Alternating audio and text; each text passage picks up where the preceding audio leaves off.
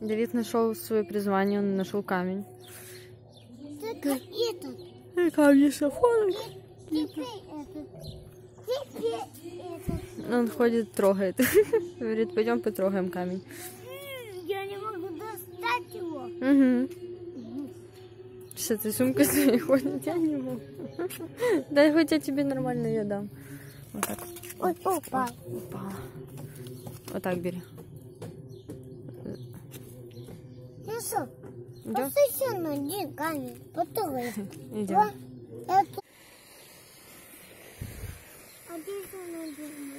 Там у тебя.